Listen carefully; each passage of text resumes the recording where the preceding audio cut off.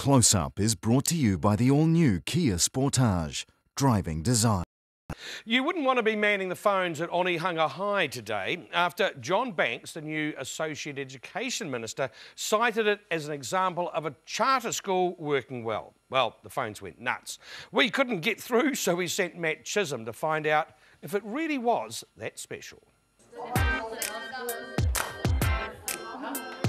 It could be any other school in the country. We're a state-funded secondary co-educational school. But today, Onehunga High is in the spotlight. I'm going to be Associate Minister of Education looking after uh, charter schools. That's schools like Onehunga High School that interface with business and are funded or help funded by private enterprise. What do you know about charter schools? Well, to be honest, not a lot. Um, I've heard that we've been mentioning with the idea of charter schools with John Banks um, this morning, and um, we're not a charter school. But here we go again, on a different station. It's worked at Onehunga High School, that's Onehunga Business High School, uh, and it's worked at Bairds Road Intermediate. It's a very good idea, and I'm very pleased about it because education is the key to this country's future, without a doubt. So there's no special charter here then? No, no, we're not a charter school.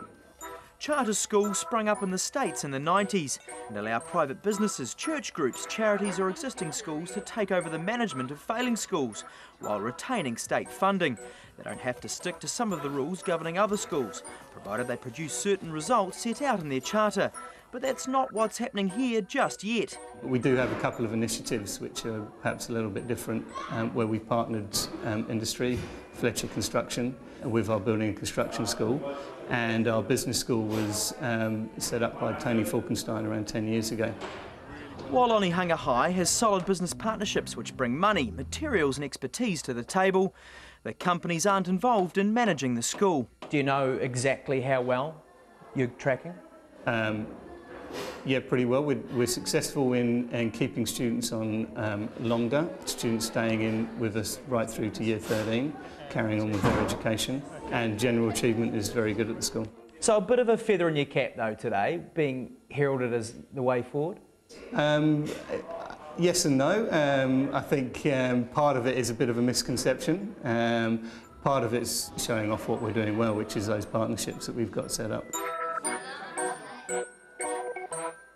So, Onehunga High, not quite sure why it got singled out by John Banks. The minister in waiting wouldn't appear in close up tonight. Wasn't happy about how we treated him last time, apparently.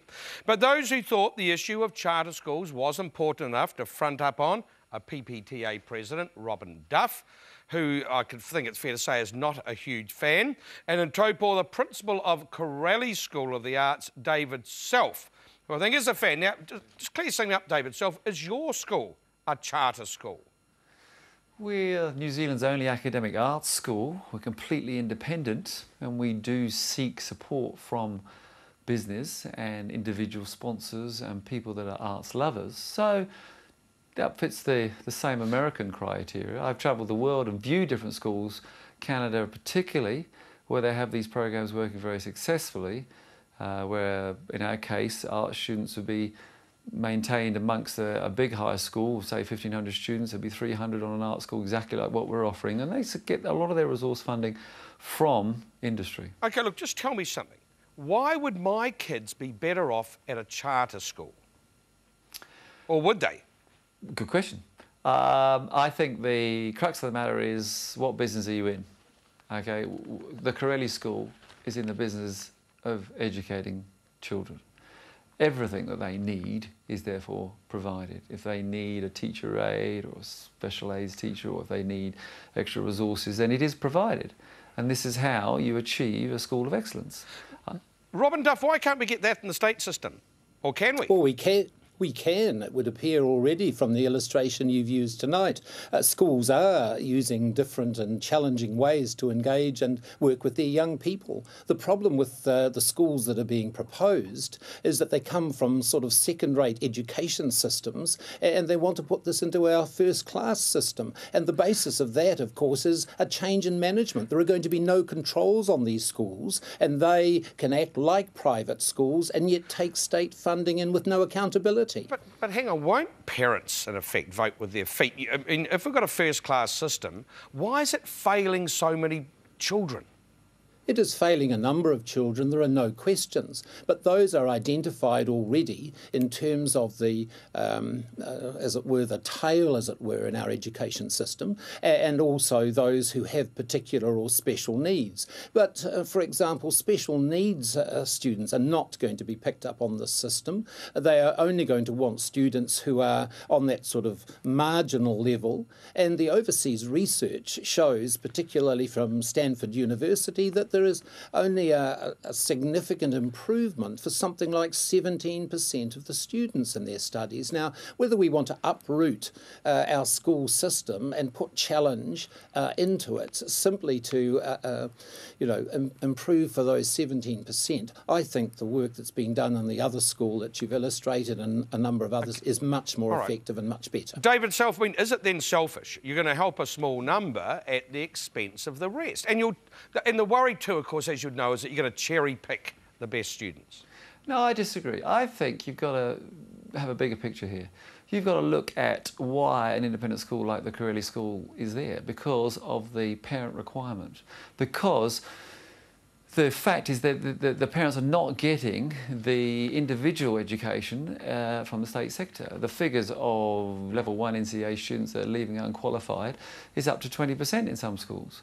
Um, we are a Cambridge only school, again, decided by the parents. So, you know, the other criticism that's been out there, uh, this in the last 36 hours, are schools then now to be treated like a business? I think schools have always been like a business. If you talk to any principal, uh, they will tell you that running their staff and providing a service is exactly the same as industry. So I think we're just becoming more aware. We can stick our head in the sand, but in five or ten years' time, this problem's still going to come up and we're going to be globally left behind. Robin Duff, I mean, isn't that what they're going to accuse the PPT?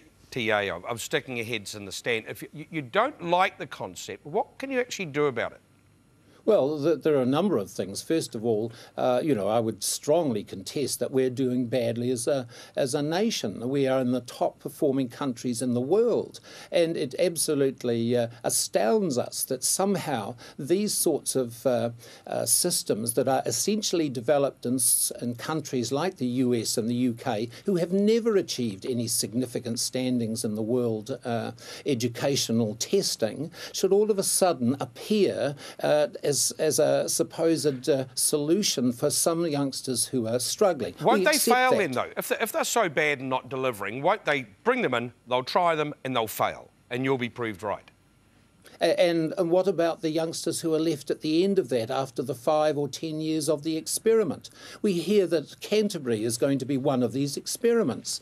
It's not an experiment. Canterbury in the east and certainly central Christchurch has never been an educationally bankrupt or failing area. What are they doing? They're now talking about using this system okay. to replace the good schools that were there previously and the good teachers right. and system. And I, I, I, would, I, would, I would suggest I think there is the political will to at least try and experiment with this. But look, we do thank you both for your time. Uh, David Selfe from the Corelli School and Robin Duff from the PPTA. Thank you. Thank you.